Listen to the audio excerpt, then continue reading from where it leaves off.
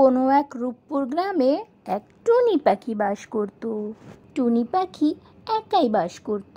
কিছুদিন আগে টুনি পাখির স্বামী একটি অ্যাক্সিডেন্টে মারা যায়। তাই টুনি একাই বাস করত।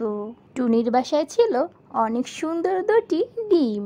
টুনি তার ডিমগুলোকে অনেক যত্ন করতে থাকে। ঠিকঠাক মতো সবসময় ডিমে তা দিতে থাকে।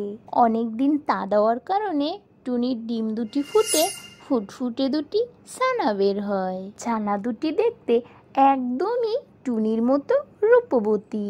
টুনির মতো গায়ের রং দেখতে। কি সুন্দর না দেখতে দুটি ছানা। অপর গ্রামে বাস করত টুনির বান্ধবী টুনটুন। টুনটুন তো টুনির ছানা ফুটেছে শুনেই টুনির বাসায় রওনা করল। কিছুক্ষণের মধ্যেই টুনির বাসায় পৌঁছে গেল। টুনটুন এসে টুনিকে বলতে থাকে কি সুন্দর ফুটফুটে দুটি সানারে টুনি।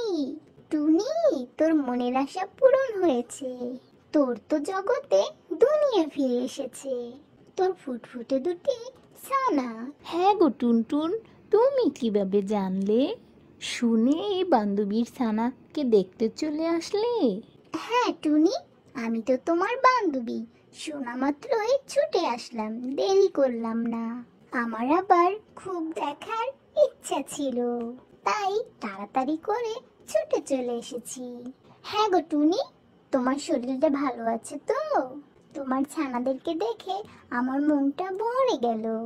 তারপরও বলি কি টুনি, তোমার ছানাদেরকে তুমি একটু নজরে নজরে রেখো। জঙ্গলে বজ্জা শিয়ালের আনাগোনা অনেক বেড়ে গেছে। তাই একটু তুমি সাবধানে ঠেকো টুনি। আমার আবার খাদ্য সংগ্রহ করতে যেতে হবে। আজকের মতো চললাম রে, টুনি। হ্যাঁ বন্ধুরা, ভিডিওটা যদি ভালো লেগে থাকে, বেশি বেশি লাইক করে কমেন্ট করে সবসময় আমাদের পাশে পাশে থাকবেন।